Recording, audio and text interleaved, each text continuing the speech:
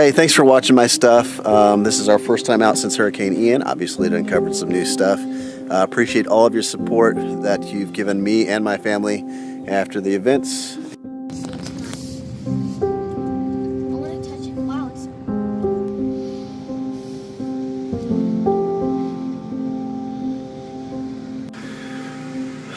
All right, here's how we did in the hurricane.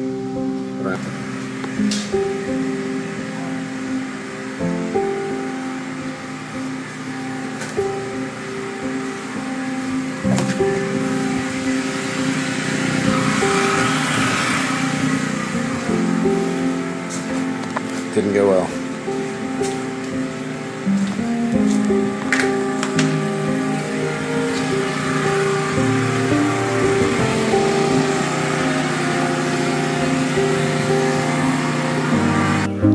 All right, it's gorgeous. This looks like a good spot. We're gonna dive in.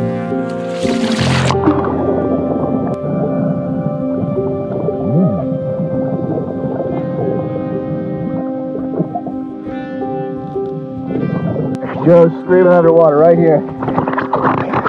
He's on a monster. Here we go.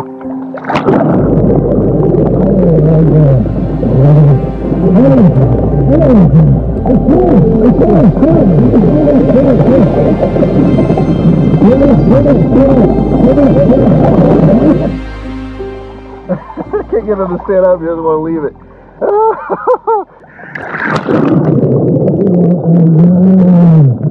Oh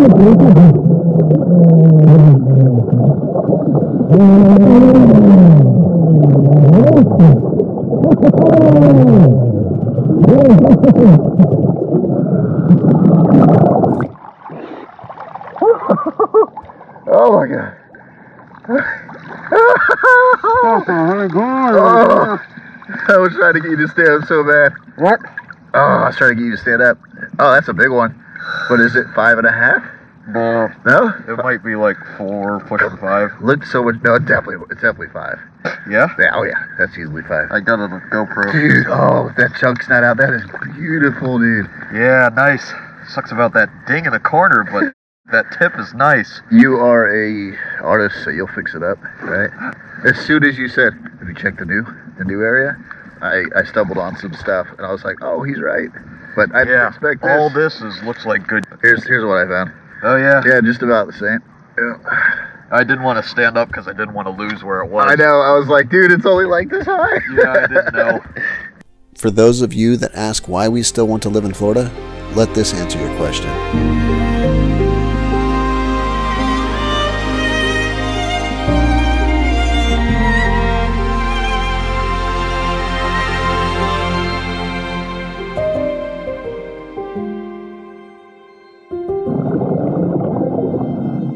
Joe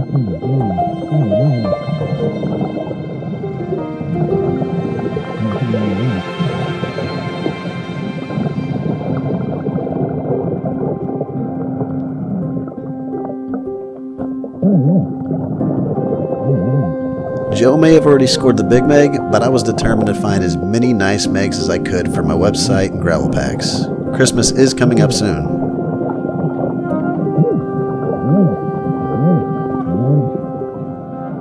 Got a Very official. very official uh, Aqua Lung dive knife here. That's the short side, that's five inches. But the long side's almost five and a quarter. It's well over five. That's my biggest meg for sure. It's got that little dinger there, but I might restore that. You know, I try and restore teeth for a living, so send me your dingers. Wow.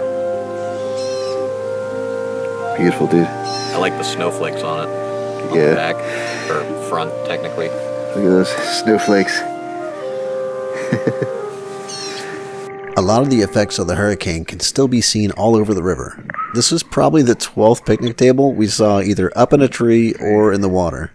Every once in a while, you find a tooth from a great white shark. These are actually much more rare than megalodon teeth. Oh, wow. Yeah, That's killer. so that makes me happy. Yeah, for sure. After the hurricane, many of the megs are just laying out, but some are still a bit more hidden. Here's an alligator dermal scute, A subtle reminder that we share this water with them, not to mention seeing these monsters dip into the water as we pass by. But little did we know this day was about to become epic. Even more epic.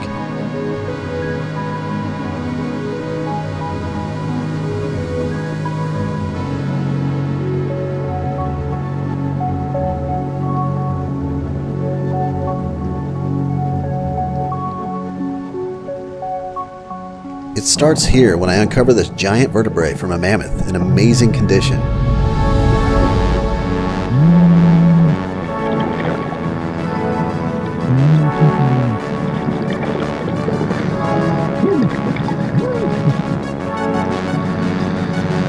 Then I come across a piece of skull, which is a great sign, and I'm immediately rewarded with this mammoth tooth of high quality, higher quality than I've ever found.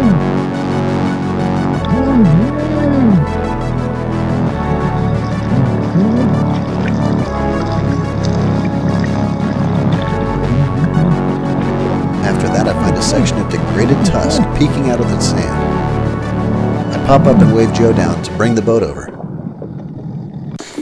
This is good stuff here. There's the mammoth vert, and I'm excited to get back in there and bring up what we found, um, because this is what we do this for. I switched out batteries and dove back in.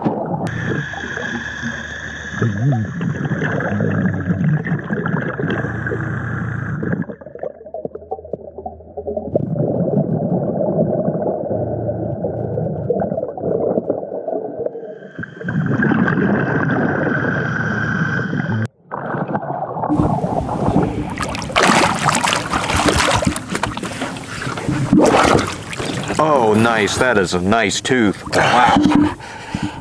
I got it. Oh, man. Look at that thing. Back of it's right here. That was. I don't know. Oh, yeah, I see the root where it would attach right there. Yep. It fits perfectly. Nice. That's a killer. Well, technically a grazer.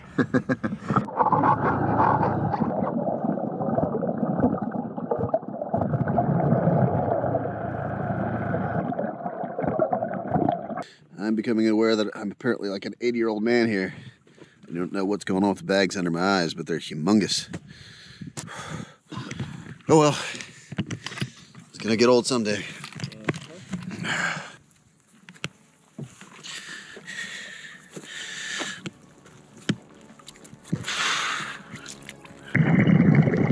We continue to uncover more parts of our mammoth and bring them up.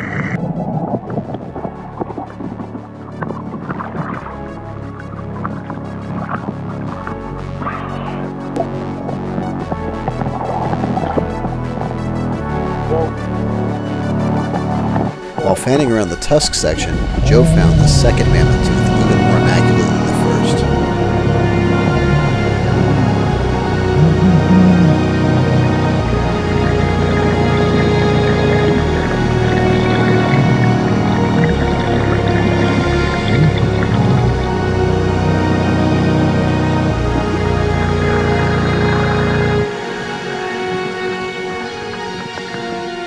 Yeah, so you got the process there.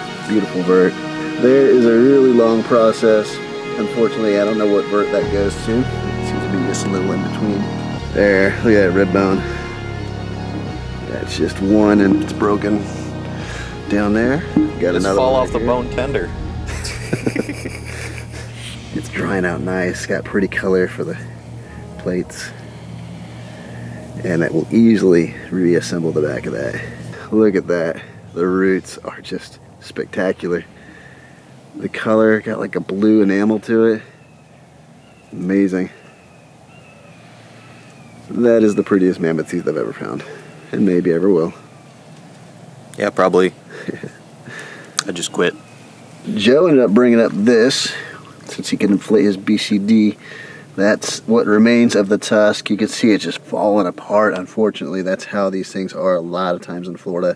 They don't preserve like they do up in the colder climates. And another beautiful vert Joe picked up. And I got one. You think that's a neck vert, Joe? Yeah, it's got to be. It's super flat. It's massive. Oh, yeah. I really wanted a whole leg, is what I was telling him. He found one, but it wasn't mammoth. Looks like he ate a whole bison leg. It's like bison. It'll reassemble nicely. Oh, and then I got that. Little detail here. Thought that thought that would be the highlight of the day, but turns out maybe not. That's a good day. Yeah. Hey, thanks for watching my stuff. Um, this is our first time out since Hurricane Ian. Obviously, it uncovered some new stuff. Uh, appreciate all of your support that you've given me and my family after the events. And this is Joe. He's going to say something super profound to end this video. I have to take a poop. All right, there it is.